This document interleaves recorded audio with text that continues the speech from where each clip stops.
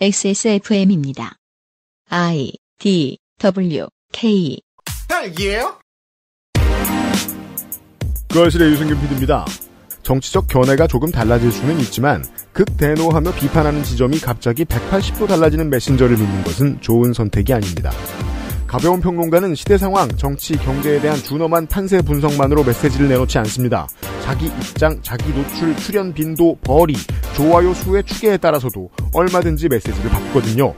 23년 1월 마지막 그것은 알기 싫답니다.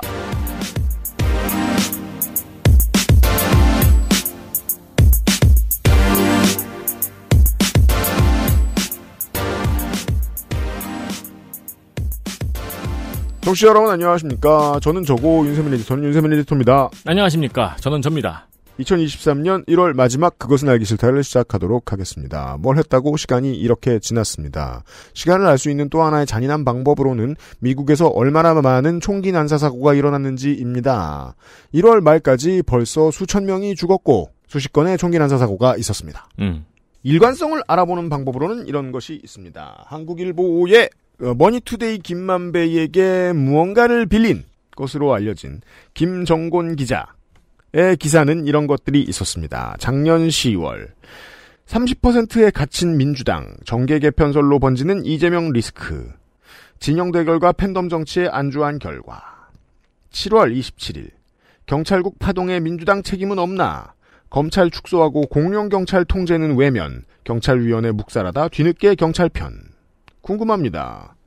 이 사람의 일관성이 부동산 브로커와 친하게 지내는 것이었다면 굳이 전 정권은 왜 그렇게 싫어했을까? 네. 하지만 예측은 가능합니다. 계속 저런 태도였겠구나. 들키지 않았다면 한국일보에서 쫓겨나지 않았다면. 이 관련된 기자들의 기사 아카이브 있잖아요. 네. 검찰들에게 대단한 힌트인데 음. 검찰만 안 보는 것 같아요. 안 봐도 입니다. 암 같은 태도를 보여주고 있습니다. 제가 지난주에 기사 읽기 노는 시간에도 말씀드렸죠. 이 수사가 민주당 당대표를 쓰러뜨릴지 모르겠지만 그 과정에서 너무 많은 아군들이 죽어가고 있다고요. 용의자 일기장 같은 게 있는데 네. 안 보는 것 같아요. 그렇습니다. 수사라는 게 그러합니다. 그 수사의 칼날을 진보 진영이 직접 맞아보지 못하다가 요즘 맞고 있어요. 유탄으로. 네. 정의당에도 이은주 전 부대표가 수사를 받고 있고 민주노총도 어마어마하게 수사를 당하고 있죠. 그 문제에 대해서 목소리를 크게 내고 검찰의 관행에 대해 반발하는 것이 쉽지 않아 보여요. 진보가 안 해본 일이거든요. 직접 맞아보니 이제야 그 맛을 알겠는 거죠. 한 여당 정치인의 명언을 들려드릴 수밖에 없습니다. 죽어봐야 저승 맛을 아느냐. 아무튼 아, 어. 이, 이 파이낸셜 투데이의 기사를 보세요. 뭐야? 기사 제목은 네. 뇌물 먹은 한겨레, 한국일보, 중앙일보의 대망신. 언론도 아니야. 안세영 기자의 기사인가 본데 음. 뭐 머니투데이도 신뢰도 하락. 음. 대장동 개발 특혜 의혹과 관련해 사업자 김만배 씨와 동거래를 한 한겨레 신문이 망신을 당하면서 폐간 수준의 위기에 몰렸다. 위에는 머니투데이라면 왜 그 다음에 바로 한겨레 신문 얘기가 나? 그리고 뭐 한겨레뿐만이 아니다. 한국일보, 중앙일보 막 이렇게 나와요. 그 기자 어, 여기서도 무슨 돈을 받았다. 음. 머니투데이의 홍성근 회장도 뭐 빌렸다 돈을 이렇게 한 다음에 맨 마지막에 또한 민노총에 지나치게 관대한 언론, 특정 기업의 문제를 눈 감아줬던 언론, 민주노총에 장악되어 편파적인 기사만 양산했던 공영방송 등에 대한 철퇴도 가해져야 할 것이란 지적이 나온다. 네. 움직이는 컴파스에 움직이지 않는 점을 보시면 해석이 쉬워질 거라고 했죠. 재벌가의 이익과 부동산 버블을 중심으로 모든 말들을 쏟아냅니다. 네. 불운하게도 민주당은 그 반대편 어딘가로 이들에 의해서 정이 내려진 것일 뿐이고요. 이 대장동 얘기하다가 갑자기 민주노총이 나와. 자, 예측되는 NPC들은 그렇다 하고 NPC는 NPC인 것 같은데 예측이 쉽지 않다고 생각하시는 분들을 이번 주에 만나보고 있습니다. 그 중에 마지막 분에 대한 이야기를 해보겠습니다. 하긴 왜요? 아이돌 음, 컴백하면 음. 항상 뭔가 이미지 변신을 하죠. 그렇죠. 그런 느낌의 변신이기도 해요. 오늘 이야기는. 안 그럼 팔리지 않을 거라고 믿으니까. 음, 네. 한국에는 그래서 정치도 그렇고 미디어도 그렇고 그 자리에 그대로 있으면서 천천히 나갈 생각이 있는 사업자들이 좀 많이 필요한데 어, 그러기에는 진중권과 변희재가 너무 잘 나간다. 근데 천천히 나가려면 컨텐츠가 중요하거든요. 음. 컨텐츠를 꾸준히 밀어붙여야 천천히 나가도 사람들이 앞으로 나가는 느낌을 받을 수가 있는데 그러기엔 안철수가 너무 오랫동안 잘 쓰인다. 이런 얘기입니다.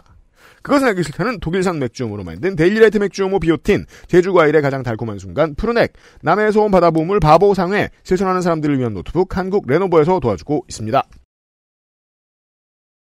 XSFM입니다.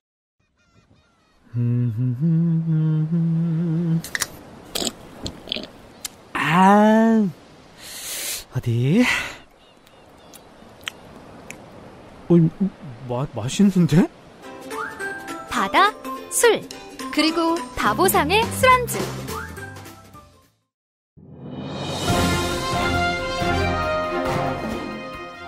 자, 전화 연결해 보겠습니다. 여보세요? 데일리라이트 맥주 효모 드셔보셨다고요? 네, 비슷한 다른 회사 제품도 먹어봤는데요. 분말이라 역하고 먹기가 많이 불편했거든요. 근데 데일리라이트 맥주 효모는 알약이라 먹기도 편하고요. 냄새가 없어 그런지 애들도 잘 먹더라고요. 이거 먹고 나서 우리 남편은 글쎄 이마선을 따라서 참. 야야야, 끊어, 끊어. 야, 끊어. 아, 통화 연결이 고르지 못하네요. 들을 말씀은 아직 많이 남아 있는데 아쉽습니다. 말할 수 없는 고민 직접 확인해 보세요. 데일리라이트 맥주 효모. 펴서 접어서 눕혀서 뒤집어서 태블릿처럼 때로는 메모장처럼 세상에 없던 노트북 레노버 싱크패드 X1 요가 시리즈 실천하는 당신을 위한 노트북입니다. Lenovo for those who do.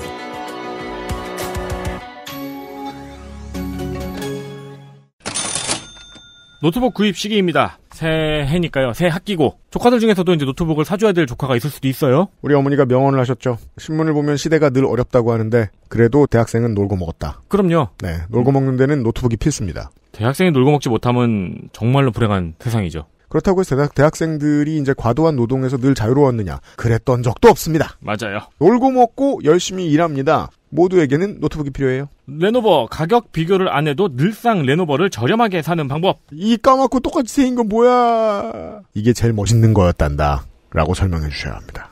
액세스몰을 경유해서 레노버 빨간 이상한 거 있어! 그게 빨콩이죠. 만져봐. 아, 요즘 친구들은 빨콩이 뭔지 전혀 모르겠구나. 잘 쓰는 사람들도 많습니다. 아니, 그 의미의 빨콩도 있지만 원래 의미의 빨콩이요. 아, 포트리스! 모르죠. 전혀 모르겠군요. 네. 이 리뉴얼된 카트라이더가 익숙해지면 옛날 카트라이더 모르시는 분들도 많으실 아, 거고. 그렇죠. 네. 문호준이 누구인지도 모를 거고. 아, 그 back shot으로 맞추면은 시대는 지나요. 아무튼 빨콩이 뭔지 설명해 주시고요. 액세스몰을 경유해서 레노버몰에서 XSFM 쿠폰을 사용하실 수 있어요. 액세스몰에 레노버 페이지로 가서 노트북 상품 보러 가기를 클릭해요. 레노버몰에서 마음에 드는 노트북을 골라서 장바구니에 담아요. 결제 전에 쿠폰 코드 보통 이거 입력하려고 나오는데 나는 쿠폰 코드가 없어서 서럽죠? 여러분은 있어요. XSFM 숫자 2 레노버 XSFM 숫자 2 LENOVO 네. 를 입력하십니다. 결제하고 좀 기다려야 됩니다. international 웹사이트 느립니다. 그러면은 노트북 전 제품이 항시 최대 20% 할인이 됩니다. 그렇습니다. 우리 사무실은 모두 레노버를 몇 년째 쓰고 있는데 좋게 잘 쓰고 있어요. 잘 쓰고 있고요. 가격 대비로도 물론 좋고요. 가격 안 따져도 좋습니다. 액세스몰을 경유해서 저렴하게 노트북을 구입하실 수 있어요. 새봄 새학기 세일 대전이라고 저 여러 사이트에서 판매하고 있는 이벤트들 다 끌어모아 대셔도 저희 평상시 할인이 이기는 경우가 많습니다. 맞습니다. 더 쌉니다. 레노버는 액세스몰로 들렸다 가시고요.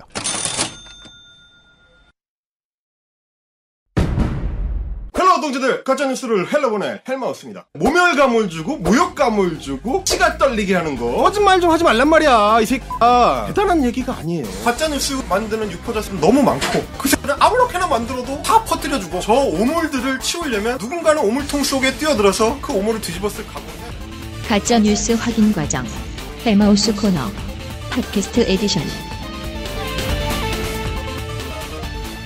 23년 1월 마지막 그것은 알기 싫다. 이번 주 헬마우스 코너입니다.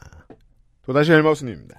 안녕하세요 헬마우스입니다 메신저 혹은 시사 celeb으로서 음. 변희재의 메커니즘을 살펴보기 위해서 네. playlist를 좀 돌아보도록 하겠습니다. 자, 우리가 이용수 활동가에 대해서 이제 윤미향 의원이 부침을 겪으면서 관련된 얘기를 몇 번 했었는데 이분은 이제 좋게 말하면 실용적이고 음. 왜냐하면 이제 12년도에 그때는 한나라당이었나요? 새누리당이었나요? 새누리당이 된 지 얼마 안 됐을 때인가요? 한나라당이 아직 이었을 때인가요? 새누리당입니다. 그렇습니까? 음. 새누리당에 먼저 공천을 한번 넣어봅니다. 그리고 떨어집니다. 음. 그 다음에 민주통합당 공천을 넣습니다. 비례에. 그렇죠. 그리고 탈락합니다. 음. 일본군 전쟁 범죄를 알리는데 가장 많은 역할을 수행한 인물 중에 한 명이죠. 이지만 아니 이런 사람이면 음. 정치에 욕심을 내도 되고 간판에 욕심을 내도 돼요. 음. 다만 그게 또 뭐 수단으로서 의미가 있다고 생각할 수 있죠. 네 욕심은 사람을 뒤틉니다. 음. 우리는 이걸 언제나 받아들이고 살아야 돼요. 뒤틀다 보면 망가질 수 있어요. 음. 실제로 이제 윤미향 의원이 수사를 받을 때 이용수 활동가가 했던 말들은 앞뒤가 맞지도 않았고 음. 그저 비난일 뿐이었거든요. 음. 결과적으로는 수요 집회 및 일본군 전쟁 범죄 알림의 추동력이 떨어지게 만드는 원인이 됐습니다. 본인의 욕심이. 그렇죠. 그 전까지만 해도 이 사람이 세워놓은 업적은 찬란했었습니다. 음. 이 사람을 건드립니다. 변희재가. 그래서 이제 이번 시간에는 몇 가지 포인트들을 놓고 한번 짚어보려고 하는데요. 지금 말씀하신 것처럼 네.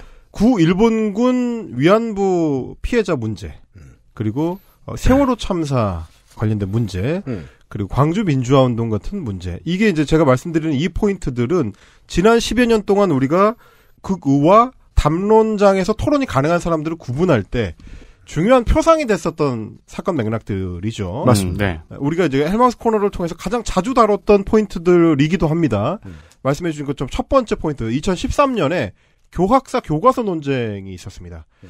교학사 교과서가 역사를 왜곡해서 서술했다라는 논쟁이 있었고요. 음. 그 중에 가장 대표적인 게 이제 일제 시대에 대한 서술들, 그 중에서도 일본군 위안부 피해자들에 대한 문제였습니다. 음. 거기에 이제 항의하는 이용수 선생, 당시 이제 이용수 할머니라고 불렸는데 음. 예, 이 분에 대해서 이제 당시 변희재가 뭐라고 평을 했었느냐? 음. 민주당 비례대표 출신의 선동이다. 그러면서 어, 비난을 쏟아냈던 기사들이 2014년 1월경에 이제 많이 나왔습니다. 음. 그리고 그때는 이제 스컷닷컴을 활동할 때이기 때문에 수컷닷컴 대표 직함을 달고 다녔습니다. 그렇습니다. 그리고 이제 본인이 이제 트위터를 할 때 자기 글을 쓰는 것과 이제 스컷닷컴에서 링크를 끌어오는 거를 거의 이제 비슷한 비율로 하던 네. 그 시절이죠. 그래서 어, 스컷닷컴에서 위안부 피해자 할머니를 비난하는 글을 땡겨오면서 민주당 비례대표 출신의 선동이다라고 지칭을 했었던 음. 이 역사가 있고요. 네. 그리고 이제 이용 선생에 대해서는 다시 이제 2020년에는 뭐라고 하냐면 가짜 위안부다. 음. 거짓말 위안부 이용수의 정체를 밝혀라. 아주 긴 기간 동안 이 할머니들을 꾸준히 괴롭히고 조롱합니다. 그렇습니다. 이제 이런 식으로 이제 조롱하는 이제 활동들을 많이 해왔었고요. 두 번째 포인트가 2014년으로 가면 세월호 참사가 있죠. 네. 어, 이 사건을 지금 2022년에 데칼코마니처럼 덮어보면 맞아요. 12구 이태원 참사가 있습니다. 네. 그래서 2014년에 뭐라고 했던 사람들이 2022년에는 뭐라고 하는지를 다시 짚어보면 이 두 사건의 유사성과 시사점을 알 수가 있는데요. 네. 일종의 리트머스 시험지입니다. 음. 2014년에 변희재가 세월호 참사에 대해서 세월호 유가족들을 모욕하고 그들을 공격하는데 가장 앞장서는 가장 선두에 서 있었던 사람이었습니다. 맞습니다. 일베들이 처음으로 아스팔트로 튀어나왔던 음. 소위 폭식 투쟁을 공동 아, 기획을 했었고요. 음. 같이 광장에서 폭식을 주도했었던 인물입니다. 단식을 하고 있던 유가족들 옆에서 피자 먹었죠.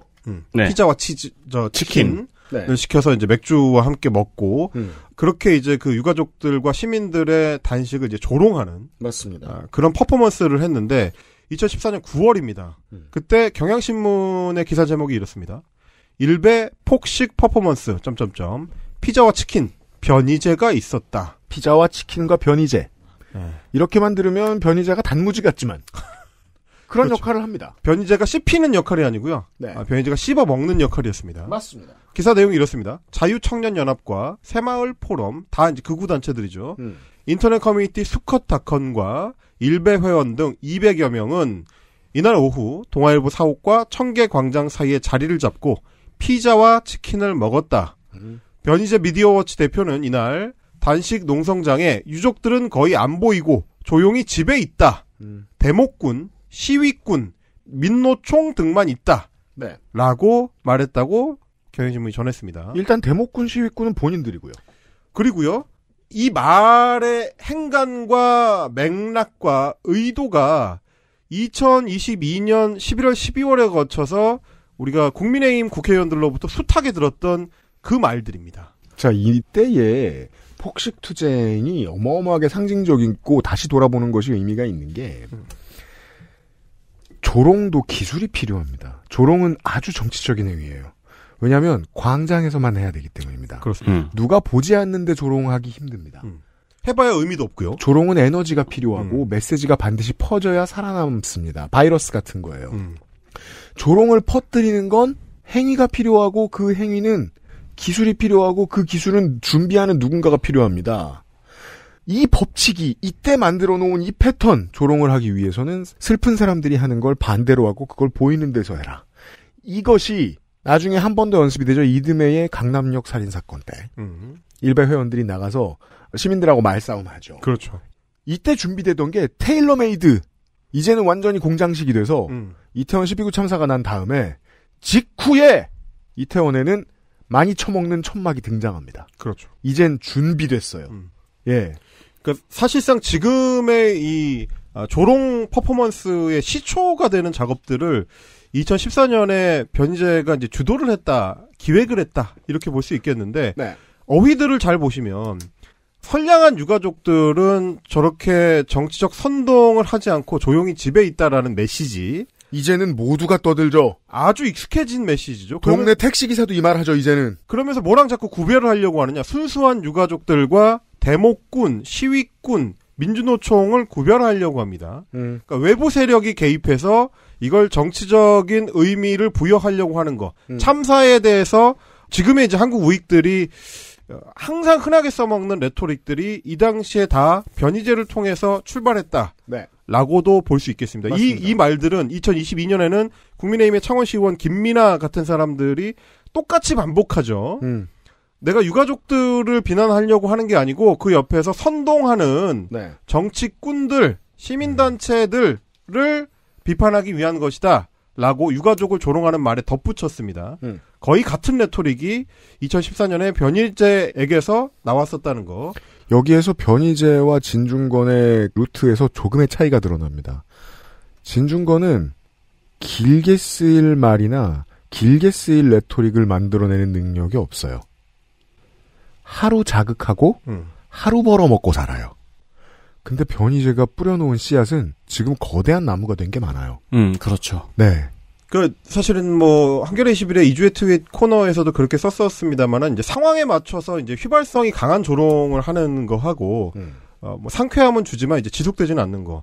근데 이제 변희재 같은 사람들의 이런 어떤 조롱의 레토릭하고의 차이는 뭐냐면 더 악의적이라는 거죠. 맞아요. 예. 마음이 훨씬 더 이제 어, 깊기 때문에 음험함의 깊이가 훨씬 깊기 때문에 잔상을 오래 남기죠. 그러니까 진중권 씨 같은 경우에는 어쨌든 거울 역할밖에 못 하잖아요. 그렇습니다. 그러니까 되돌려 주는 거. 상대방의 발화가 먼저 없으면은 본인도 할 말이 없어요. 본인이 먼저 의제를 내놓지 않기 그렇죠. 때문에. 근데 변희재 대표 같은 경우에는 본인이 의제를 계속 만들고 싶어 하잖아요. 그렇죠. 그래- 거두가 되고 싶어 하니까. 그래서 이제 조롱의 어떤 그 심후가 굉장히 좀 두껍다라고 할 수 있겠는데 그래서 그 당시에 뭐 잘 보시면 폭식 투쟁에 계속 좀 참여를 하면서 트위터에다가 뭐 저녁은 도시락, 점심은 시켜 먹습니다. 뭐 이런 식의 조롱성 글들 그 당시 이제 유가족과 시민들의 이제 동조 단식을 조롱하는 글들을 이제 계속 올리는 이 그죠. 활동을 했었습니다. 이게 10년이 되니까 이걸 옆에서 보고 못 본 척하던 되게 많은 시민들이 너도 나도 하게 됐습니다. 그렇습니다. 그게 지금의 2022년입니다. 음. 2023년입니다. 그리고 어 유가족들이 이제 국회 앞에서 이제 세월호 특별법 제정을 촉구하면서 이제 농성을 하고 어, 국회로 뭐 진입을 시도한다든지 이런 어, 장면들이 이제 뉴스화가 되니까 그걸 조롱하는 스쿼트닷컴 게시물을 자신의 트위터에 재링크를 하면서 뭐라고 제목을 달았느냐면 속보 세월호 폭동 발생 이라고 2014년 7월 16일 7월입니다. 변희재의 트윗입니다. 속보 세월호 폭동 발생. 이 레토릭도 보시면 2022년에 거의 똑같은 방식으로 어, 권성동의 입에서 그렇습니다. 네. 인용이 되죠. 음. 그리고 이제 12구 참사 유가족들을 향해서 국민의힘 정치인들이 쏟아내는 말과 똑같은 양태의 말을 당시 세월호 유가족들한테 향했었던 거 역시 마찬가지로 2014년 7월의 트윗에서 읽을 수가 있습니다. 변희재 청춘투쟁 어, 트윗 보시면 뭐라고 돼 있냐면 세월호 참사로 한몫 챙기려는 소수의 정치꾼들이 세월호 희생자 전체를 욕보이고 있습니다. 저런 생때에 국민들의 애도는 분노로 바뀝니다. 세월호 유족들 대표부터 다시 뽑고 이성을 되찾기 바랍니다. 야, 보면 볼수록 대단한 게 곱씹는 의미가 있는 게 8년 만에 미움이라는 거목이 됐어요. 그렇습니다. 이때 아무도 안 봐주던 이 헛소리가. 이걸 잘 보시면 단어를 바꾸면 지금 거의 똑같이 재현되고 있습니다. 음. 이태원 참사로 한몫 챙기려는 소수의 정치꾼들이 이태원 희생자 전체를 욕보이고 있습니다. 저런 생때에 국민들의 분노, 애도는 분노로 바뀝니다. 이태원 유족들 대표부터 다시 뽑고 이성을 되찾기 바랍니다. 이거 당장 누가 저 국민의힘 지도부에서 한 말이라고 해도 전혀 이상하지도 않고 실제로 비슷한 말 계속 하잖아요. 그렇습니다. 누군가 지금 페이스북에 쓰고 있거든요. 예. 거의 같은 양태를 보여주고 있었다 라는 거고요. 아니 일개 기초자치단체 시의원 하나 족치는 걸로 넘어가려고 하면 안 돼요. 다 그렇게 말하고 있으니까. 그렇습니다. 이게 하나의 네. 이제 트렌드가 된 시대인 거고요. 편의제가 만들었어요 상당 부분. 아, 그 당시에 이제 이런 선동을 했었습니다. 트위터에 쓴 건데 역시 마찬가지로 어버이 연합이 세월호 유족들 내의 정치꾼, 장사꾼들 퇴출을 선언. 광화문에서 금요일 3시 한판 벌입니다. 저도 참여합니다. 이게 뭐냐면 폭식투쟁 과 관련된 이제 트윗이고요. 거기에 이제 누가 참여했었느냐? 어버이 연합 같은 자들이 참여를 했었고 같이 연대를 했었다. 그 다음부터 슬슬 이제 2010년대 후반에 원군이 붙죠. 탑골 공원의 어르신들. 그렇습니다. 그게 태극기 부대로 진화하게 되는 건데. 네. 그리고 그때 이제 세월호 진상규명을 위한 특별법 제정을 할 때 가장 좀 악질적으로 공격하던 레토릭이 세월호 희생자들을 의사자로 지정할 것이고 음. 그리고 그때 이제 생존자들에 대해서 특례 입학을 할 수 있도록 조항을 만들어서 그걸로 특혜를 줄 것이다. 아, 이런 식의 이제 정치 선동이 굉장히 횡행을 했었습니다. 이건 엄청 돌아다녔죠. 이는 이후에 우파의 공정 논란과 만나서 맞습니다. 우파가 먼저 꺼내니까 저 제가 이제 월초에도 말씀드렸습니다만은 계급 사회를 공고히 하는 것만이 공정이고 정의다라는 레토릭을 국민들에게 심어놓는데 큰 역할을 합니다. 그 제가 무슨 말씀 아까부터 계속 똑같이 드리고 있잖아요. 온 사회의 미움을 자잘하고 넓게 뿌려놨어요. 음. 편의제는. 그래서 뭐 사실이 일단 아니고요. 세월호 특별법에 뭐 그런 내용이 들어가지도 않았는데 음. 이제 그런 걸 가지고 이제 선동하는 역할을 했었고 어 그리고 그 당시에 유가족들이 이제 박근혜 당시 대통령한테 이 격렬하게 항의하는 장면을 두고 박근혜한테 이제 사과를 해야 된다. 유가족들이 음. 네. 이런 주장을 한다거나 음. 어 뭐라고 했냐면 이렇게 얘기했습니다. 세월호 유족 본인들은 대통령과 총리에게 쌍욕을 퍼부어 놓고 조금만 본인들 비판을 하면 모조리 고소.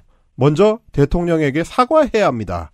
라는 트윗을 썼고요. 음. 어, 유가족들한테 이제 주어지게 될 보상금이 2,270억이다. 음. 이런 식의 거짓 선동 음. 어, 하는 행태들을 이제 보였었고요. 거짓말을 많이 만들어냈어요. 그렇습니다. 그런 어떤 거짓 선동은 지금까지도 소위 이제 우익 단체들의 주요 이제 수단이 되고 있지요. 네. 그리고 저희가 한번 소개해드린 바 있는 홍가희 씨를 향한 김용호 유튜버 지금은 유튜버가 됐지만 네.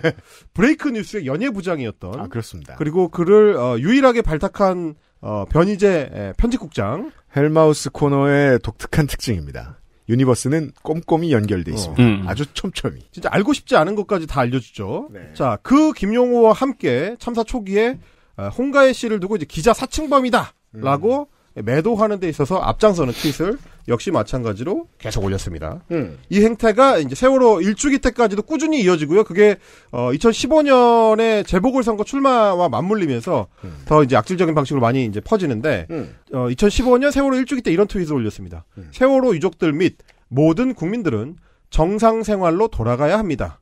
음. 그게 정치권에 이용당하는 유족들을 진정으로 위하는 길입니다. 라는 트윗을 올리기도 했습니다. 그 이게 2022년이 되니까 우파에게 엄청나게 큰 아이디어를 제공해 줘버린 거예요. 아, 14년에 변희재 및 다른 그때 또라이 취급했던 사람들이 이런 말을 했구나. 어떻게? 가급적 최대한 열심히 책임지지 않으려 몸부림치면 되겠구나. 음. 2010 그걸 반증할 수 있어요. 2014년에 박근혜 정권은 그런 아이디어가 없었어요. 음. 왜냐하면 아직 대한민국이라는 세상에 그런 아이디어가 없었기 네. 때문입니다. 그런 그런 악질적인 혐오 정서 가 이제 보편화되지 않았던 시절이죠. 하지만 국민의힘에게는 일반 무기입니다. 음. 변기창을 열면 그거부터 있어요. 책임 안 지려 노력하기. 그렇습니다. 지금 제가 이제 소개해드린 이 내용들을 쭉 보시면 지금도 극우 단체들이 잘 써먹는 요소들이 다 들어있죠. 사회적 참사가 발생했을 때 어떤 악의적 레토릭을 작동시키면 사람들을 갈라쳐서 이게 마치 진영 싸움인 것처럼 보이게 할 수 있는 그렇죠. 이런 저- 거죠. 정치적 논리를 들이대지 말라. 그렇습니다. 라는 말 한마디만 하면 자기 책임 없어지는. 바로 그겁니다. 뭔가 사회적인 책임을 요구하는 목소리는 다 유가족들이 아니고 정치 선동꾼들, 네. 민주노총, 야당 이런 사람들이 옆에 붙어서 유가족들을 선동하기 때문에 발생하는 거니까 여기에 속지 마라. 이 레토릭이 하나 등장하고요. 그리고 유가족들이 요구하는 거는 금전적인 과도한 보상이다. 이런 것들의 레토릭도 역시 마찬가지로 등장을 했고요. 음. 주변에서 그런 사회적 그런 요구에 발맞추려고 하는 사람들은 뭔가 뒤에 꿍꿍이가 있거나 이상한 사람이다. 이때가 청취자 여러분들이 추석이나 설에 집에 가보면 어르신들이 이런 똑같은 얘기를 해서 그렇습니다. 놀랄 때입니다. 그래서 제가 옛날에 그런 말씀 드렸잖아요. 그냥 되물으시라고. 아빠 내가 죽으면 돈 타내려고 이럴 거야? 그렇죠. 라고요. 환기시켜주라고. 그리고 이제 유가족들 중에서도 특정 앞으로 도드라져 나오는 사람, 예를 들면 유가족 협의회 대표, 그 사람을 특정해서 이 사람만 이상한 걸로 공격해라. 그렇죠. 이 사람이 뭐 옛날에 뭐였다. 뭐 지- 이런 발언을 했다. 그래서 지금도 12구 참사, 이태원 참사 유가족 협의회 대표에 대해서 집중되고 있는 공격들을 보시면 어떤 양상들이 펼쳐지고 있는지를 미루어 짐작하실 수 있고요. 이게 딱 8년 전에 2014년에 변희재를 비롯한 이 극우 단체들에서 이미 만들어져 있던 도구들이었다라는 걸 확인할 수가 있습니다. 이게 얼마나 놀라운가 하면 그런 거에 지나지 않을 수 있어요. 마트에 농산물 사러 가면 생산자 써 있습니다. 네. 농업인들하고 이제 뭐 협업한다는 의미로 대기업들이 그런 거 일부러 써 내놓는 거죠.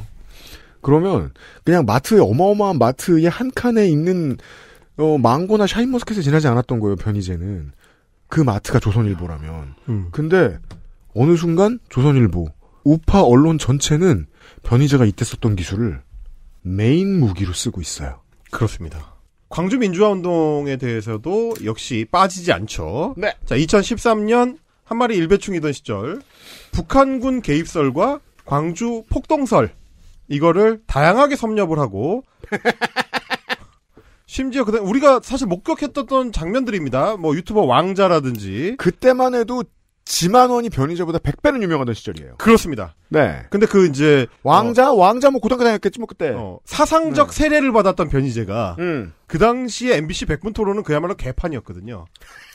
진행 아, 어, 그랬죠, 진짜. 진행자 교체되고 작가진 교체되고 음. PD 교체되고 그래서 백분 토론이 사실상 뼈대만 남아있던 시절에 어, 백분 토론에 변희재가 나가서 이 지상파 토론 프로그램에서 이런 말을 합니다. 변희재 미디어워치 대표가 표현의 자유를 앞세워 나 역시 1980년 광주 문제를 광주 사태라고 보는데 5.18은 민주화 운동이 아닐 수도 있다. 라고 말에 큰 논란을 빚었다. 이 기사입니다. MBC TV 백분 토론에 출연해서 극우 성향 인터넷 사이트 일간 베스트의 일탈을 주제로 토론하던 중 표현의 자유가 중요하다. 5.18 광주의 북한군 개입설은 일베에서 퍼뜨린 게 아니라 김대령 박사라는 분이 유네스코에 등록된 공식 자료로 충분히 개연성 있는 주장들을 정리한 것이다. 라고 주장을 했다는 내용입니다. 시간을 너무 많이 쓸 수 없으니까 간단하게만 말하면 처음부터 끝까지 개소리가 공중파 TV를 통해서 나갔고 그렇습니다. 이는 문민정부 등장 이후에 최초로 나온 그렇습니다. 예 참람된 논리였습니다. 그러니까 그걸 지상파에서 토론 프로그램의 정식 패널이 되어서 던질 수 있다는 걸 아무도 생각하지 못했던 시절에 음. 아, 이런 찬란된 장면이 이제 박근혜 공영방송에서는 벌어졌던 거죠. 근데 제가 이렇게 쭉 이야기들을 돌이켜 보니까요. 음. 지금이랑 정말 비슷한 게 이 중에서 변희재 머리에서 나온 게 하나도 없거든요. 네. 제가 기억하기로는 네. 전부 다 1배나 DC에서 그렇습니다. 베스트 게시물에 올라갔던 것들이에요. 그거를 주워와서 스피커를 하고 그렇습니다. 있는 거거든요. 그러니까 사실상 지금 우리가 헬마우스 코너를 통해서 계속해서 소개드렸던 2019년 이후에 어, 극우 유튜버들의 이제 이 표상 같은 존재가 아, 2010년대 초반에 2012년, 14년, 14년 어간에는 게시물 형태로 변이제를 통해서 이제 대표되고 있었던 거죠. 네. 우리가 변희재를 쭉 얘기하고 있는데 이 변희재가 했던 일을 다시 한번 20년 단위로 생각을 해보자고요. 2022년에는 권성동 윤핵관들이 변희재가 8년 전에 했던 말을 하고 있다고 말씀드렸잖아요. 정권 전체가 이렇게 움직인다고 말씀드렸잖아요. 구구적인 아젠다로. 2002년에만 해도 지만 원이나 떠들면 99%의 국민이 비웃던 그것이에요. 네. 2002년에 지만원의 하- 하루짜리 헛소리가 하루 비웃고 말 헛소리가 2022년에는 정권이 됐다고요. 음. 그 중간에 아주 효과적인 매개체로 변희재가 존재하고 있어요. 그렇습니다. 그러니까 미디어 환경이 변화되어 오는 거에 따라서 그때그때 잘 적응한 인물이기도 한 거죠. 음. 초기에 이제 뭐 서프라이즈 같은 게시판 모델에서부터 시작해서 중간에 일베 같은 그 인터넷 커뮤니티 사이트에 적응을 해서 그걸 가지고 이제 자기 활동을 했었고 그 뒤에 최근에는 인터넷 어, 유튜브 쇼츠 뭐 이런 매체들을 통해서 이제 활동을 하고 있는 건데 네. 2013년부터 14년에 걸쳐서는 당시 이재명 성남시장을 이제 종북 인사로 지칭하는 게시물을 음. 지속적으로 올렸습니다. 아, 이재명이 종북 혐의가 있다. 네. 종북의 기생에 국민의 피를 빨아먹는 거머리 떼다. 음. 간첩들을 비호하고 이들의 실체를 국민에게 속이고 이들과 함께 정권을 잡으려고 한다.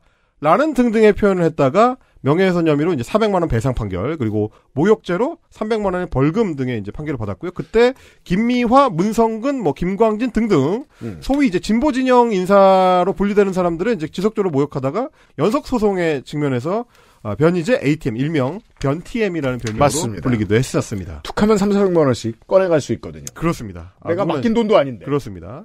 그리고 이제 이 얘기가 빠질 수 없죠. 노무현 전 대통령 얘기. 이거는 음. 심지어 최근까지도 지속적으로 이어왔던 변희재의 비즈니스 집회 모델입니다. 음.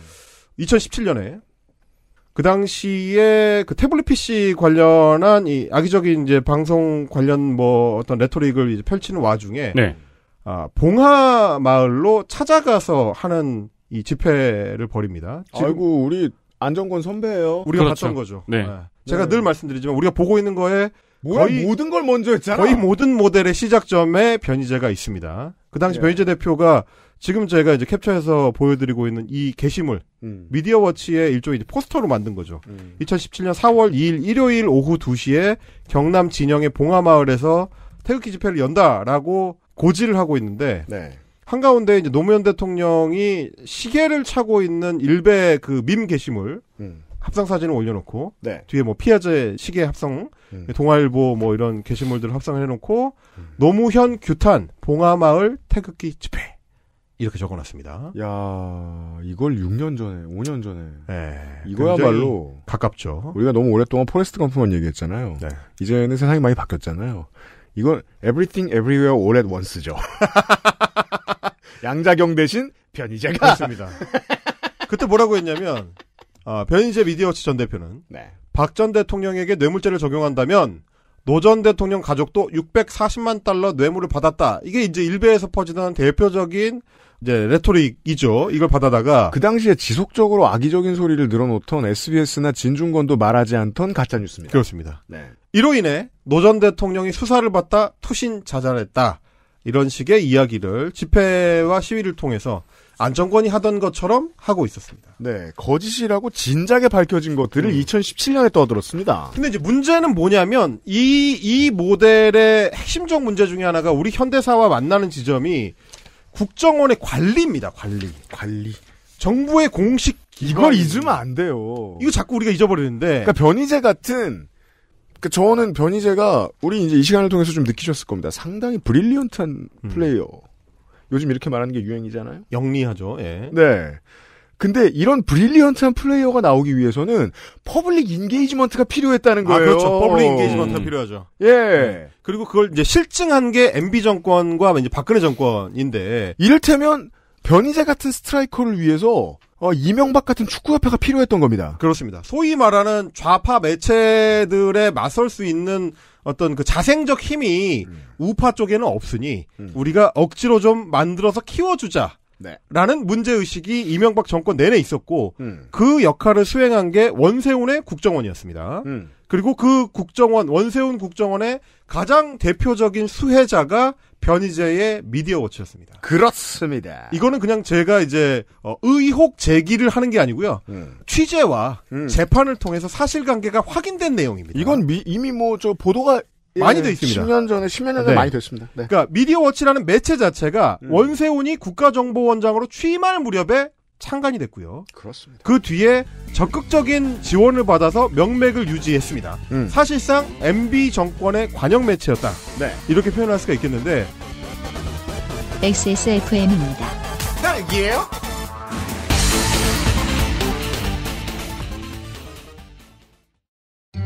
포장만 뜯으면 과일 그 이상의 맛. 오감 만족 과일 스낵 푸르넥. 초일류 글로벌 PC 브랜드 레노버에선 내가 원하는 컴퓨터를 customizing 할 수 있다, 없다? 지금 액세스몰에서 확인하세요. Lenovo for those who do.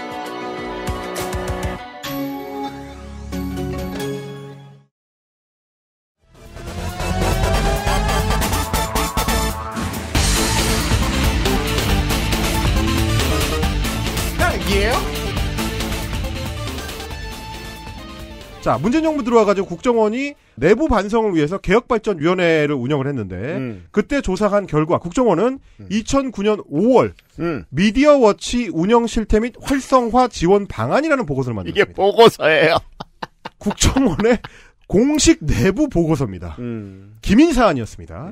그리고 나서 어, 창간 이후에 2009년 8월에는 음. 미디어워치 활성화 중간 보고를 만듭니다. 이게 이제 시간 배경으로 보면 드라마 수리남하고 비슷한 때예요. 아 그렇죠. 예. 네. 그러니까 박혜수 씨가 이제 생명의 위협을 무릅쓰고 네. 예, 식사는 잡수셨어 이러고 있을 때 국가정보원장은 그렇습니다. 변희재한테 이런 거 하라고. 자 타임라인을 겹쳐 보시면 뭐랑 네. 맞물리는 거냐면 2009년 2월, 3월, 4월, 5월에 걸쳐서 음. 광우병 촛불 집회가 있던 시기. 네. 그러니까 우리가 좌파들의 선동에 휘둘려서 음. 매체가 없어서 이렇게 당하고 있으니 우리도 우파 매체를 만들어서 키워주자. 네. 라는 문제의식과 함께 시작한 게 미디어워치고요. 근데 조건이 하나 더 있었네요. 네. 조중동도 못하는 말을 그렇죠. 그거보다 더 조직적으로 할 수 있는 누군가가 필요하다. 조중동도 못하는 말을 해야 돼. 예를 들면은 5.18 음모론 같은 이야기. 맞아요. 조중동은 못하는 말이거든요. 네. 이런 말까지 할 사람이 필요한 거야. 이명박이 그렇습니다. 너무 중요합니다. 그래서 그러면 정권이 바뀌고 나서는 괜찮느냐? 그럴 리가 없죠. 2012년 3월이 되면, 그러니까 MB 정부 말기인데, 2012년 3월에 아, 이 보고서의 제목을 보십시오. 청와대에 이런 보고서가 올라갑니다. 건전 인터넷 매체. 야, 건전 인터넷 매체. 건전, 건전. 인터넷 매체 괄호하고 미디어 워치. 써놨어. 오해, 오해 할까봐. 네. 건전 인터넷 매체 괄호하고 미디어 워치 경영난으로 종북 매체 대응 위축 우려. 그러니까 라는 내용의 보고가 올라갑니다. 짧게 말하면 변희재 돈 없대요. 어, 그렇죠. 미디어 워치가 힘들답니다. 한겨레 같은 종북 매체들한테 대응할 수 있는 애들이 힘들대요. 변희재 돈 없대요가 이명박 대통령에게 올라가는 국정원의 문서이던 시절이 있었다는 겁니다. 공식 문서입니다. 아, 이 진짜 에드가 후보네요. 아, 굉장하죠. 네. 예. 자, 국정원은 이 상황을 타파하기 위해서 미디어 워치의 경영난을 타파하기 위해서 삼성을 비롯해서 26개 민간기업 그렇답니다. 그리고 한국전력을 비롯해서 10여 개 공공기관에 광고 지원 요청을 지시합니다. 이게 이제 10년대 초중반, 이제 10년대 오기 전에도 00년대 말에도 사람들이 저를 비롯해서 저도 이제 미디어 업계에 대한 그 지식이 별로 없으니까 그거 되게 궁금했었거든요. 아니 뉴데일리에 관공서 광고 왜 이렇게 많아? 한전 광고가 꽂혀 있었죠 그때. 예, 뉴데일리를 키워줬거든요 그렇게. 그러니까 사실 광고를 꽂아줘라라고 국정원에서 지시를 한 거예요. 변희재도 나도 뉴데일리 사주처럼 클 수 있어. 음. 아, 부풀어 올랐을 거예요. 그렇죠. 왜냐면 국정원이 밀어주고 그렇죠. 국가가 밀어주니까. 네. 그때까지 말하자면 처음에는 조중동한테 광고 밀어주다가 이걸로 안 돼. 음. 그래서 뉴데일리도 한번 밀어주자. 음. 그래 그걸로도 안 돼. 그러니까 미디어워치 같은 걸 아예 키우자 이렇게 된 거고요. 네. 민간 기업한테 국정원이 압박을 넣어서 광고를 주기 시켰습니다. 음. 그래서 미디어워치는 2009년 4월부터 2013년 2월까지 음. 2년 10개월 동안 음. 4억 원 수준의 광고비를 수주 받았습니다. 이야. 그 뭐 운영하는 매체 뭐 서너 명 정도 있던 시절인데 근데 이 사람이 아니. 이제 성정을 보아하니 급여를 똑바로 줄 리는 없고 그렇죠. 싸게 준다. 이러면 회사 하나 굴러갑니다. 자 이런 식 삼성 같은 기업은 미디어워치에 광고를 주면 안 되죠. 아, 홍보에 큰 타격을 입죠. 그렇죠. 네. 네. 그러니까 국정원이 나서서 압박을 한 거죠. 음. 야, 재미없어 라고 하니까 이제 어쩔 수 없이 이제 밀어넣었던 어, 홍보 담당자는 기분이 했겠네요. 제가 이런 말씀 드렸잖아요. 전략적인 스탠스에 대해서 고민해야 할 때 윤석열 정부는 친이계가 했던 걸 다 그대로 한다. 음. 요즘 들어 MBC 광고 몇 개 기업들 빠지고 있습니다. 엄포. 놓은 다음부터 그렇습니다. 슬슬. 예. 어, 야 여당의 이제 최고위원이 직접 아, 비대위원이 직접 나서 가지고 삼성한테 광고 빼라고 이제 이야기하는 시대니까요. 음. 어, 자 이랬던 변이제 그래서 어, 4.16 세월호 참사 가족협의회가 선정한 세월호 참사 언론 책임자 명단에 이름을 올리고 있는 김재철 MBC 당시 사장과 나란히 음. 이름을 올렸던 대표적인 인물입니다. 음, 둘 다 공천 받고 싶었는데 그 당에서 공천을 못 받았다는 특징을 갖고 있습니다. 저희가 이제 이렇게 변이제 10년을 돌아보면 음. 그런 어떤 변이제 기술적 측면들과 동시에 그가 그 기술에 얹어서 전파하던 메시지들의 이제 포악함과 해악 이런 거를 이제 돌아볼 수밖에 없는 건데 음. 과연 이 사람이 KBS, YTN, TBS의 로고가 박힌 프로그램에 논객이라는 타이틀로 등장을 할 때 세월호 참사 유가족들의 마음은 과연 어떠했을까? 그분들이 8년 전에는 세월호 참사 언론 책임자 명단에 변희재를 올렸었는데 네. 그러니까요. 그분이 지금 TBS에 나오고 김영민 씨와 안진걸 씨와 함께 그 같은 무대에서 집회하는데 나와서 연설하고 이러는 걸 바로 그 자리 광화문에서 세월호 유가족들이 혹은 그때 이제 많이 가슴 아프셨던 분들이 봤을 거 아니에요. 그럼요. 근데 그냥 마음을 거두신 거예요. 크게 말하는 게 별로 우리 사회가 들어줄 것 같지도 않고 음. 나만 혼자 미워서 그런 거 아닐까? 하고 지레 그냥 닫아버리신 거예요. 근데 지레 닫았다고 안 아파서 그런 거예요? 엄청 쓰라리일 거예요. 변희재가 얼굴을 내밀고 이 바닥에서 헤헤 하고 다니는 게. 그래서 사실은 좀 더 안타깝죠. 저희가 이제 변희재의 10년, 진중권의 10년, 안철수의 10년을 돌아봤지만 어느 순간에 사람들은 속을 수 있습니다. 그거는 뭐 우리들도 경험하는 바이니까요. 누군가한테 10년 전에는 실체를 잘 몰라서 속을 수 있죠. 어쨌거나 속을 수 있다는 사실을 자꾸 알려줘야 좀덜 속으니까. 네. 지금이라도 좀 덜 속을 사람들이 늘어날 수 있으니까 이 말씀을 드려야 되겠다 라는 생각을 했던 거고요. 음. 윤석열 욕만 찰지게 잘한다고 해서 어, 그의 이제 기본적인 기술적 해악 들이 이제 사라지는 것은 아니다. 그러니까 저는 지금 윤석열 퇴진 운동 한다고 그렇게 가서 내미는 손 덥쑥덥쑥 잡고 그러면 안 되는 거죠. 그런 우려를 저는 이제 하는 거고요. 심지어 변희재 씨 같은 경우는 최근까지도 소위 박근혜 구하기 장사를 이제 멈춘 적이 없기 때문에 네. 안한적 없어요. 그거 스탠스 바뀐 적 없어요. 그렇습니다. 아, 태블릿 음모론은 계속 내고 그러니까 있어요. 아니, 민경욱 씨가 자꾸 눈에 띄는 이유는 민경욱 씨의 컨텐츠는 그거 하나뿐이기 때문이거든요? 그렇습니다. 그럼 변희재 씨가 이 장사를 안 했냐? 쉰 적 없습니다. 그러니까 그게 이제 개심에 기반한 턴어라운드라면 아, 돌아볼 만한 지점들이 좀 있겠지만 음. 그가 그 입장을 바꾼 적이 없기 때문에 그러면 우리도 어, 10년 전과 같은 잣대로 계속 좀 들여다볼 수밖에 없다. 바뀌었는지 안 바뀌었는지를 명확하게 하려면 다시 돌아볼 수밖에 없다라는 네. 말씀을 드리는 거고요. 네. 10년 동안에 이제 세, 아. 세 개의 교차점을 돌아본 겁니다. 네. 아, 이것도 중요합니다. 네. 이 점을 시민들이 나서서 우 해주지 않으면 음. 야당 정치인들은 조회수가 높으니까 이 사람을 쓸 거예요. 음. 이건 전체적으로 질을 꽤나 많이 낮출 겁니다. 시사 씨가 책에서 강조하는 내용이 그거예요. 그 저쪽이 싫어서 투표하는 민주주의는 저쪽이 싫은 게 나쁜 게 아니에요. 저쪽이 싫은 게 메인이 되는 게 문제인 거지. 그럼 그 한가운데는 지금 변희재가 있거든요. 변희재는 그냥 저쪽이 싫은 거고요. 여전히 저쪽이에요. 굳이 따지자면 장사가 안 되는 거죠. 그러니까 이제 장사하는 방향을 바꾼 그렇죠. 거에 가깝다. 네. 그 점에서 뭐- 진중권과 동일체고요. 이렇게 이제 판단을 하고요. 네. 10년에 걸친 세계의 정치 멘토링의 이제 교차점을 돌아본 이유가 저도 뭐 한번 보니까 흘러가는 시간이라는 게 굉장히 좀 잔혹하고 어, 인간을 향한 이 잔상은 시간보다 더 오래 남더라 라는 생각입니다. 10년 전에 우리가 안철수의 생각을 읽고 노유진의 정치 카페를 들으면서 정덕으로 입문했던 사람들은 2022년에 어떤 감정을 겪었을까? 네. 예, 그들이 느꼈을 어떤 허무함과 많은 시민들이 냉소에 짓밟히고 있을까봐 스스로 그렇습니다. 걱정입니다. 정치에 신물을 낼까봐 네. 아, 다 이게 결국 이렇게 되는 거구나라는 허무에 빠질까봐 좀 걱정이 되고요.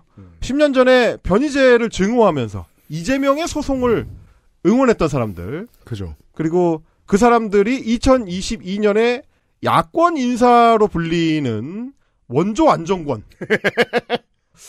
그 원조 안정권 변희재를 바라보는 어떤 당혹감에 대해서 제가 또 공감을 표한다는 점을 말씀드리고 싶었고요. 음.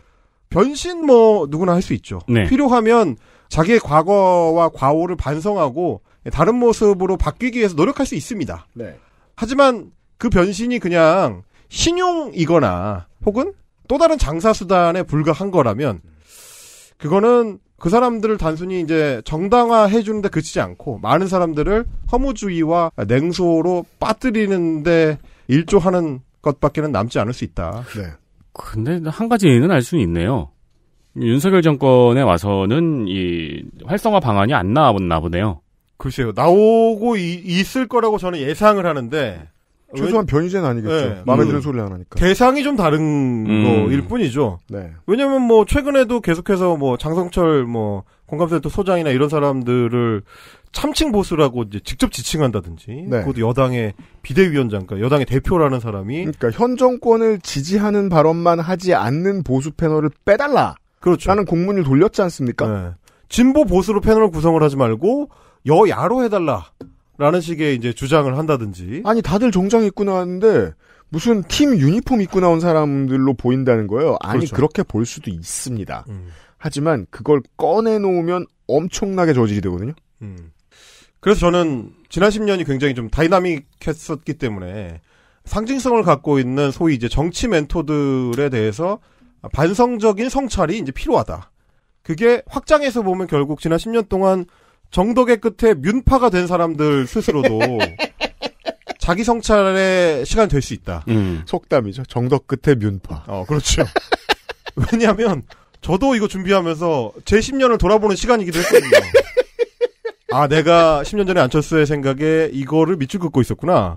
내가 2012년쯤에는 이런 기사를 만들고 있는 사람이었구나. 이걸 돌아보는 시간이었기 때문에 네. 여러분들도 한번 자신의 10년과 다시 마주해보는 시간이 된다면 보람 있을 것 같다. 그렇습니다. 그러면 이제 허무와 냉소로부터 스스로를 구해낼 수도 있다. 네. 이런 말씀을 좀 드려보고 싶었습니다. 그럼 어쩌면 10년 전에 했어야 되는 거를 이제 할 차례가 온 것 같기도 해요. 그렇죠, 뭐. 네, 네. 판단. 맞습니다. 아직도 혼란스러우신 분들을 위해서 단 한 가지의 팁만 더 전해드리겠습니다. 제가 맨날 교토 얘기를 하죠. 교토에서 우동집을 300년을 했어요. 그런 사람은 정치의 역동성, 플레이어들의 역동성을 이해할 수 없어요. 내 자리에서 같은 일을 계속했죠? 그러면 경제면과 사회면에서 아무리 심각한 변화가 온다고 크게 떠들어도 들리지 않습니다. 네. 이게 대부분의 삶이에요. 대기업에 있든 tenure를 받은 뭐 공부노동자가 됐든 의학노동자가 됐든 뭐 의사인 아니면은 뭐 그냥 저 중소기업 어디에 살든 농업을 하든 technician이 되든 같은 일을 쭉 하고 비슷한 동네에서 계속 살고 비슷한 사람들을 만나죠. 이 역동성을 알아챌 수 없습니다. 그래서 그걸 넘겨짚으시기를 기원해 봅니다. 아주 역동적인 커뮤니티. 예를 들면 미디어 사업에서는 내가 세상을 조망하는 척 하면서 세상에 대해서 조언이나 하는 고고한 사람인 것처럼 나와 있는 포지션을 가진 땅바닥의 플레이어들이 존재할 뿐이에요. 그들은 그저 자영업자일 뿐입니다. 자영업자로서 원하는 걸 얻기 위해서 조망하는 것처럼 떠드는 그 조언의 메시지를 얼마든 바꿀 수 있습니다. 음. 우리와 똑같은 내일 벌이가 걱정되고 내일 관심을 덜 받을까 걱정되는 개인들일 뿐이에요. 그 개인의 입장을 조망해 주세요. 음. 왜냐하면 여러분은 조망하는 위치에 있는 청취자 혹은 시청자시니까 여러분이 내려다보고 있는 겁니다. 우리가 내려다보고 떠드는 게 아니고요. 맞아요. 왜냐면 돈을 여러분이 주잖아요. 우리가 신선이 아니고 여러분이 신선입니다. 플레이어들이 저기 1층에서 깨작깨작 하면서 서로 싸우고 삐지고 화해하고 암투를 벌이고 하는 모습을 지켜보세요. 그런 일개 선수에 지나지 않습니다. 근데 또 그런 것도 있네요. 그러니까 우리가 알던 유명한 이 선수들이 음. 다 유통기한이 끝났네요. 그걸 더 길게 늘리느라 개고생하는 세 사람을 만나고 있잖아요. 어, 어, 그렇죠. 이제 그럼 뉴페이스들이 등장을 하겠네 또. 그럼요. 그거를 우리가 분석할 힘이 남아 있어야 될 텐데. 그것도 아, 그러자면 이제 섣불리 분석했다 또 이꼴 당하잖아요. 필라테스도 배우고 우리도 지치지 않아야 되는데. 그죠. 네. 여기에서 토막 정보. 어. MBC의 김재철 사장. 아주 일관된 사람입니다. 네. 최근에 이 극우 universe에 어- 어디서 등장하느냐. 뮤지컬 박정희의 제작사 사장입니다. 어, 그래요? 왜냐면 그 뮤지컬 박정희의 총괄 감독이 김재철과 아니 근데 그 제작사는 지금 가세연이 갈라졌잖아요. 그렇죠. 둘 중 어느 편이 들까? 제가 알기로는 김세의가 뮤지컬 쪽에 조금 더 진심인 걸로. 아 그래요. 네. 그리고 이제 김재철 개인의 문제는 그 뮤지컬 회사가 박정희에 출연한 배우들에게 출연료를 좀 늦게 지급해서 어, 그렇죠. 최근에 체불 도망 다니고 있어가지고. 네, 네, 네. 이제 뭐 항상 그 이상한 사람은 한 가지만 이상하지 않다라고 늘 말씀드리는데 사고 치는 놈은 계속 사고 칩니다. 네. 그래서 10년을 돌아보는 의미가 있다. 네. 이렇게 좀 말을 맺고 싶습니다. 그렇습니다. 세 사람의 10년을 보신 바 여러분들이 너무 허무해지지 않으시길 바란다는 메시지와 함께 그렇죠. 2023년 1월의 헬마우스 코너를 마무리 짓도록 하겠습니다. 달에 봬요. 감사합니다. XSFM입니다. 딸기예요? 오징어잎, 아기 꼬리포, 흔하지 않은 마른 안주. 맥주만 있으면 뭐해? 술안주는 바보상회. 좋아요. 진짜 확실히 좋아졌어요. 어, 이렇게까지 효과가 좋을 줄은 몰랐어요.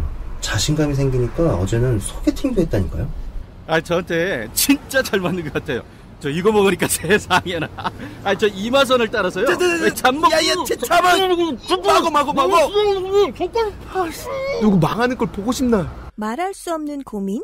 직접 확인해 보세요. 데일리 라이트 맥주 효모. 맛있다 소리까지 맛있다. 색상까지. 향기까지 식감까지. 포장만 뜯으면 과일 그 이상의 맛 오감 만족 과일 스낵 푸르넥 뉴스 아카이브 전에 먹는 거 광고를 하겠습니다. 입이 심심할 때 과자 말고 더 산뜻한 거 없을까 하는 고민을 겨울 내내 합니다. 과자는 요즘은 한 봉을 다 못 먹겠어요, 느끼해서. 그리고 작은 거 사죠. 어, 작은 그렇죠. 거네 봉지 붙은 거 이런 거. 그리고 과자 먹다가 이렇게 물 마시면은 치킨 먹다 물 마신 느낌이잖아요. 그럴 때 제주 스폰서 제주의 과자 푸르넥 어떨까요? 원적외선 복합 건조로 동결 건조 스낵과 차별화되는 식감을 가지고 있습니다. 100% 과일 그대로 맛보는 과자의 맛입니다. 물론 초코가 발라진 것도 있어요. 동결 건조로 맛있는 건 뭐가 있을까? 저는 드디어 하나밖에 못 찾아냈습니다.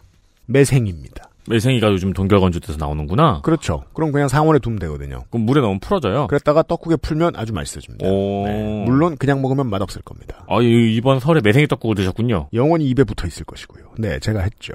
그리고 엄청 뜨겁잖아요. 그리고 동결 건조 스낵은 맛없습니다. 근데 푸르넥은 원적외선 복합 건조라서 맛있어요. 맛있는 만큼 다소 비싼 고급 스낵이지만 먹을 자격 되잖아요. 그렇습니다. 그만큼 벌고 네. 이거 먹으려고 벌지.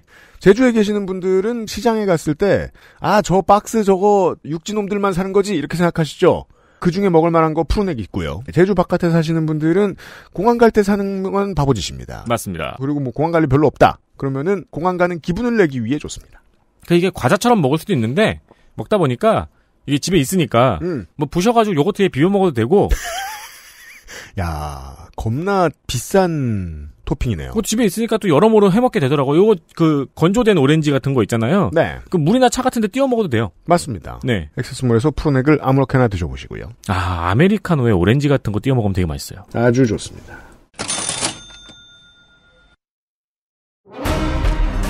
astral 뉴스 기록실 뉴스 아카이브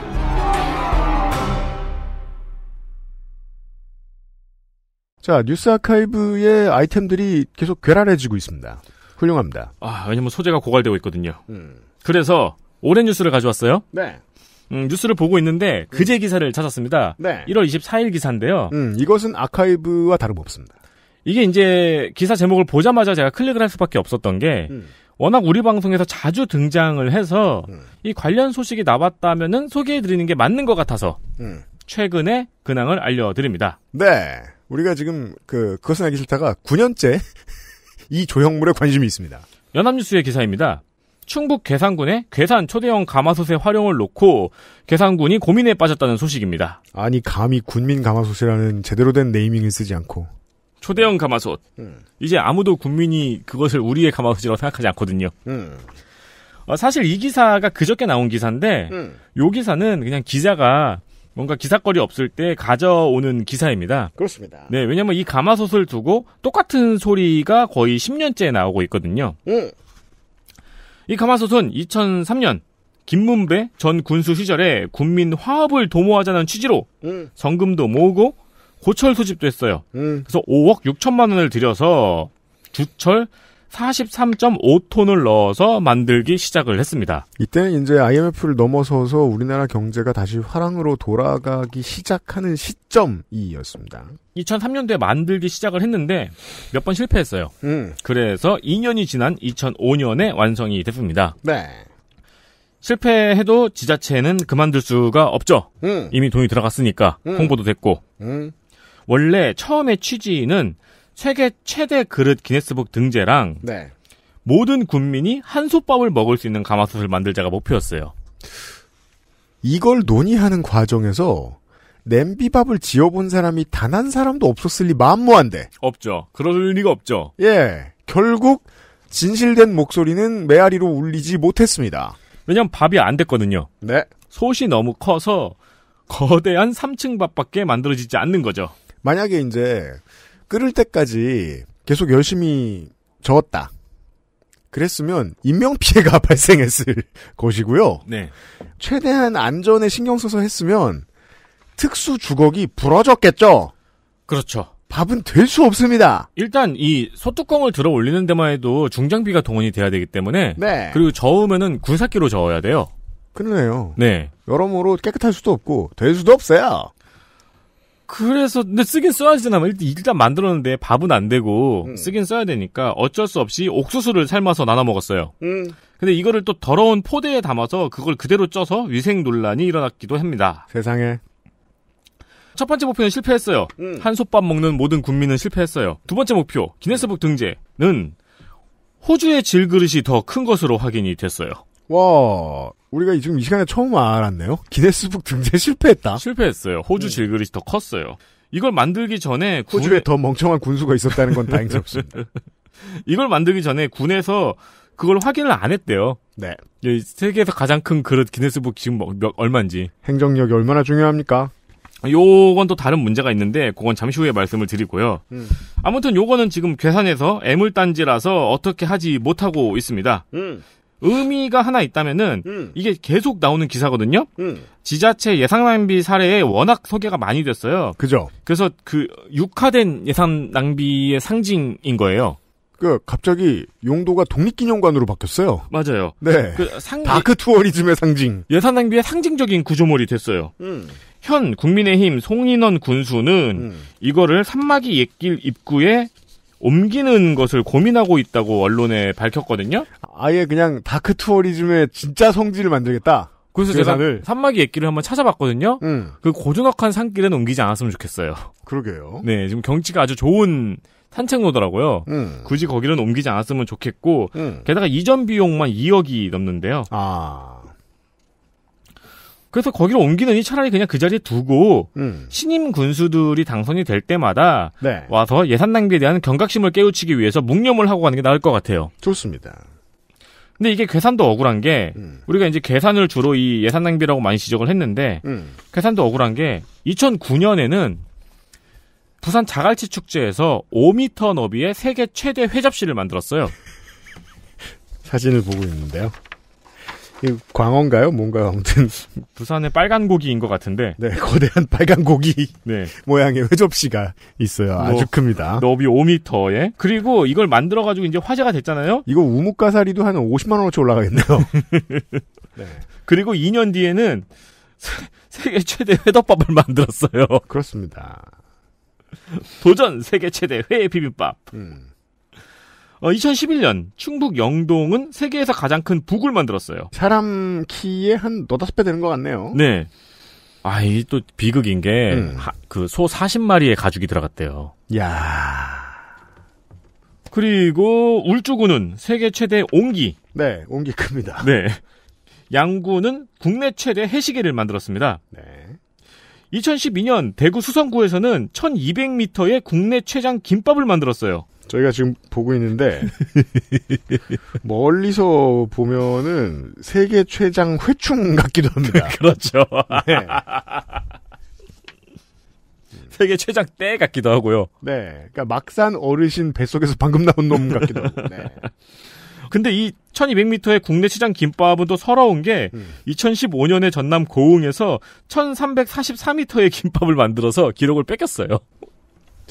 이게요. 어차피 김땡땡국에서 1년 팔면 이 정도 나오지 않을까요? 굳이 왜 이걸 네. 그리고 이거를 이렇게 보면은 지금 쭉 긴 그 테이블 위에서 수많은 사람이 김밥을 말고 있잖아요. 음. 중간에 한 놈 분명히 끊어 먹었을 거야. 한 놈만 그랬을 그림이 아니에요. 지금 제가 보고 있는데. 대충 붙였을 거예요. 네. 김제는 345제곱미터의 떡 절편 모자이크. 음. 광주 광산구는 세계 최대의 우체통.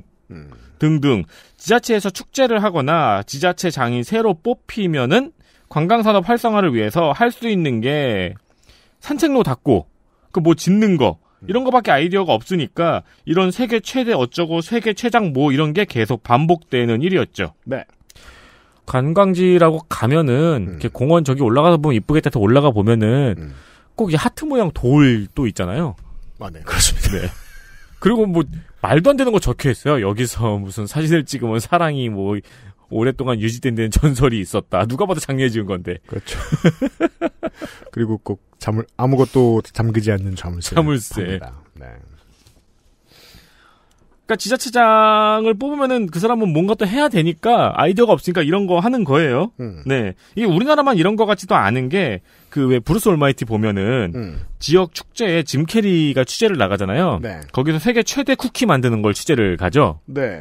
그 좀 사실 저는 여기까지는 좀 자연스러운 거라고 보는 게 원래 아이디어를 내는 게 공무원의 역할이 아니기도 하고 네.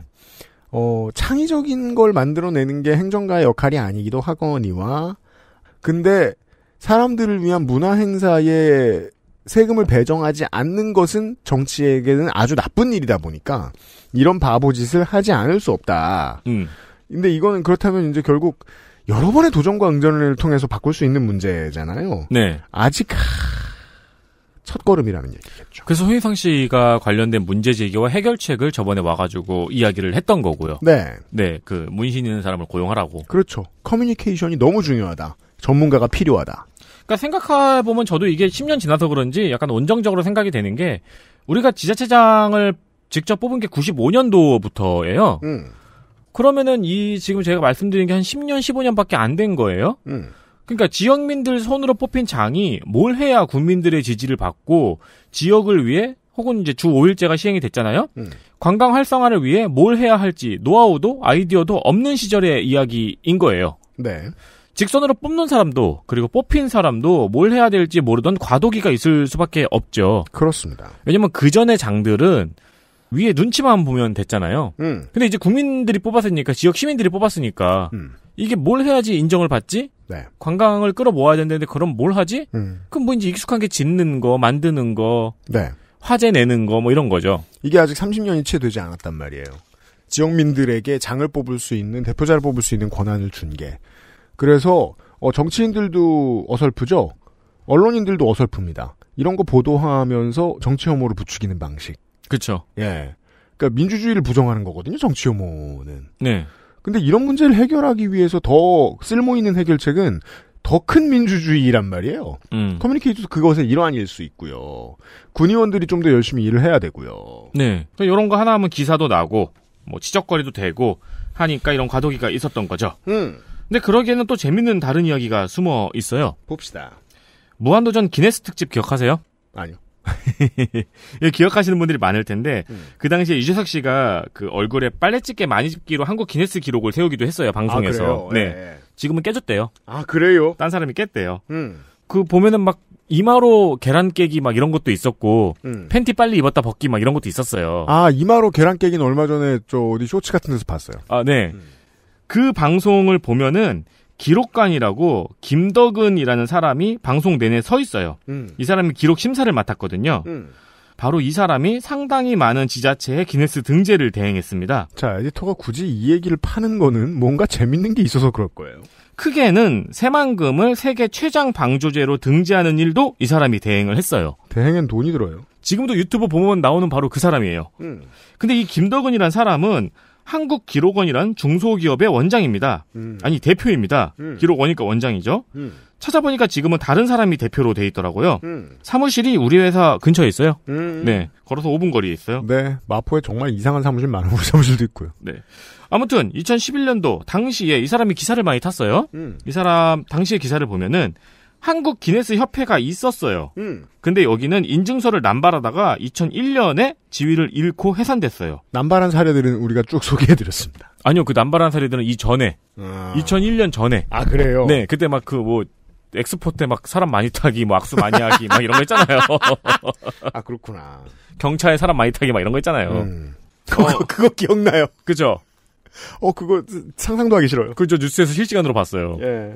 근데 어쨌든 2001년에 한국 기네스협회가 해산이 되니까 음. 그 이후에 김덕은 씨가 한국 기록원이라는 회사를 세워요. 음. 그리고 기네스북 등재를 대행을 합니다. 음. 문제는 이 회사는 기네스북과는 아무 상관도 없는 회사라는 거예요. 음. 그리고 대행비를 최대 20배까지 받았다는 겁니다. 아, 짭짤하셨군요. 네, 기네스 로고도 무단 사용했던 혐의가 있었더라고요. 음. 그리고 기네스 로고 사용비도 몇 천만 원을 받았다고 해요. 무단 사용했는데 사용비를 받았다? 그게 이제 그 당시에 혐의였어요. 와, 엄청난 카피 레프트이자 라이트입니다. 근데 뭐 그걸 또 잘 전달했다고도 하고 해명을 보니까 그러더라고요. 그걸 잘 전달하면 배달 사고지.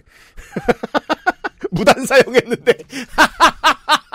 어, 요거 요게 이제 재판 결과가 안 나와 잘 모르겠어요. 예. 음. 그러니까 예를 들어 새만금 기네스 등재 대행으로 농어촌 공사 새만금 사업단으로부터 음. 1억 8,500만 원을 받았어요. 음. 근데 실제로 등재하는데 들이는 돈은 792만 원입니다. 이야. 한 20배를 받은 거예요. 음. 그리고 누구든지 홈페이지에 직접 신청할 수 있는 일이었고요. 음. 뭘 신청하든 비용은 다 비슷비슷합니다. 네. 비슷한 게 아니라 동일해요. 792만 원으로. 음. 다만 이제 심판관이 참관을 해야 되는 경우가 있거든요. 음. 그러면 그 교통비하고 숙박비를 줘야 됩니다. 어, 네. 비행기 값하고 호텔비를. 음.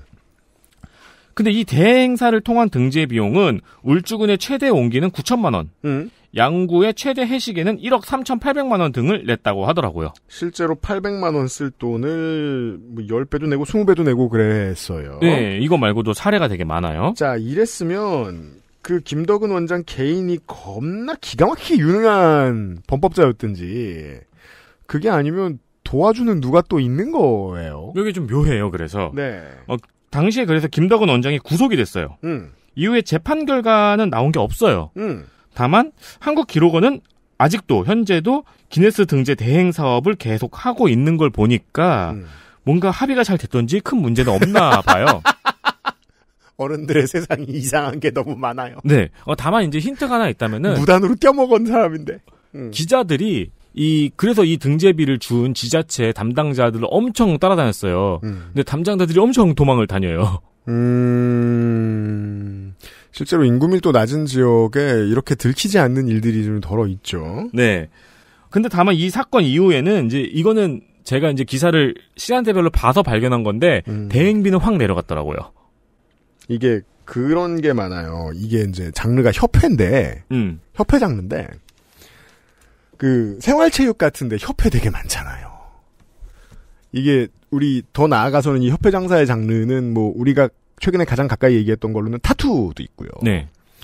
협회를 만들면 협회가 공공성을 갑자기 띠게 되면서 어떤 공공적인 지위를 얻으면서 그 지위를 이용해서 돈을 벌 수 있게 된단 말이죠.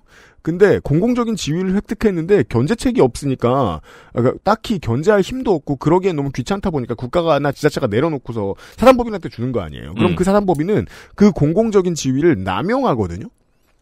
그래서 보통은 대행료를 많이 받고 심사료를 많이 받고 시험 응시료를 많이 받고 더 나아가서는 자기들을 통해야 서티피케이트를 얻을 수 있으니까 그 사람들한테 더 많은 다른 갑질도 합니다.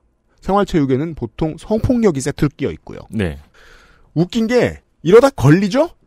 그래도 여전히 사법권과 행정은 이 사람들이 귀찮죠? 내버려 둡니다. 그럼 그다음부터 어떻게 하게요? 법대로 합니다. 음. 처벌을 안 받거나 조금 받고. 네. 그래서 그때 사기꾼이 그대로 남아있기도 해요.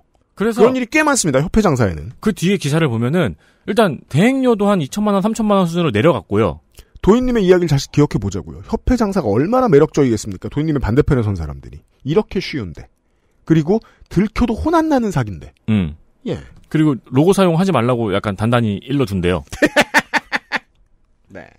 근데 어떤 또 지자체는 이 대행 이 한국기록원에 문의를 했다가 음. 뭐야 그렇게 비싸? 알아보니까 안 비싸고만 하고 직접 한 데도 있대요 공무원이. 그렇죠. 네. 네. 그러니까 어떤 곳들은 공무원과 연결이 되어 있을 수 있지만 어떤 곳들은 공무원이 그냥 속았을 수도 있는 곳인 거 아니에요. 그렇죠. 혼재돼 있겠죠. 아니 그리고 이 한국기록원의 그 당시 해명도 찾아봤는데 네. 단순히 등재 업무가 아니고 뭐 홍보 뭐 그렇죠. 뭐 패키지로 판다고 예, 했겠죠. 예. 홍보 무슨 뭐 명, 동판 제작 무슨 뭐 트로피 제작 뭐 이런 게 다 포함된 가격이다. 음. 막 그렇게 설명을 했는데 또 이 지자체 공무원은 이거 기네스 인증 최대 옹기 뭐 이런 거 세운다고 1억을 그냥 준 거예요. 네. 그러합니다. 그런 산업까지 같이 뭉쳐 있었던 거죠. 음. 네, 그 당시에 열풍이 기네스 열풍이. 네. 다행인 건 지금은 유권자들이 이런 이벤트를 좋아하지 않는다는 거를 모두가 알고 있다는 거죠. 그렇습니다.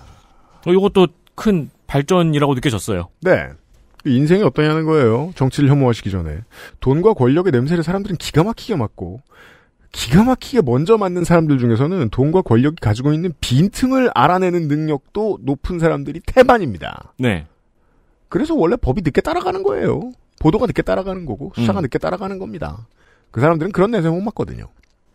이 옹기는 아직도, 이- 옹기랑 북은 아직도 있는지 모르겠네요. 아, 북은 아직도 있더라고요. 다른 건 다 없애고, 괴산 국민가마솥만 남겨뒀으면 좋겠다. 이것도 또 없애긴 뭐 하잖아요. 만들었는데. 그건 그래요. 사실 괴산 국민가마솥도 없애는 게 좋을 수도 있어요. 주철은 어딘가에 쓸 곳이 많아요. 음, 쓰긴 쓰죠. 주철은 쓰죠. 네. 소가죽도 뭐 기왕 이렇게 나온 거 뭐 쓸 곳이 없진 않고. 일단 짤들은 어딘가에 저희가 인증해 드리겠습니다. 이 대왕 회충과 더불어서 난 이 회, 회 비빔밥도 너무 웃겨요. 뉴스 아카이브였습니다.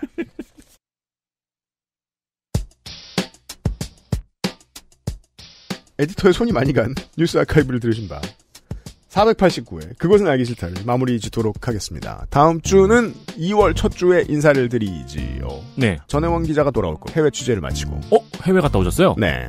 12구 참사와 관련된 해외 취재를 다녀왔습니다. 네. 제법 들어두실 만한 이야기들을 들고 돌아오도록 하겠습니다. 그렇죠. 저희가 이게 3시에 업로드가 되고, 음. 업로드 되자마자 들으신 분은, 네. 요거를 끝나고 다 들으시고, 네. 빨리 달려오시면, 음. 저희가 요파시 공개 방송을 하고 있죠. 그거는 이제 서울시 강남구 역삼동에 사시는 분들에 해당하는 얘기고. 그렇죠. 네. 들으셨으면 거기 계세요. 네. 네. 격분하지 마시고. 저희들은 추운 날씨에 행사 치르느라 바쁠 테니까. 네. 저희 직원들은 간만에 주말에 좀 바쁠 예정이고요. 여러분이 듣고 계신 이 시간에. 그렇죠. 네. 아, 그리고 티켓은 이미 매진이라. 그렇습니다. 네. 성원을 보내주신 많은 여러분 감사드리고. 그 알실도 청취자 여러분들을 만날 준비를 곧 하고 있고요. 이것은 이제 아마 다음 주쯤부터는 좀 자세히 말씀을 드릴 수 있을 것 같습니다. 아무튼 전혜원들로 다시 돌아오겠습니다. 다음 주 초에. 윤세민 에디터하고 유승균 PD였습니다. 그것은 알기 싫다였어요. 고맙습니다. 안녕히 계세요. XSFM입니다. I D W K 딸기예요?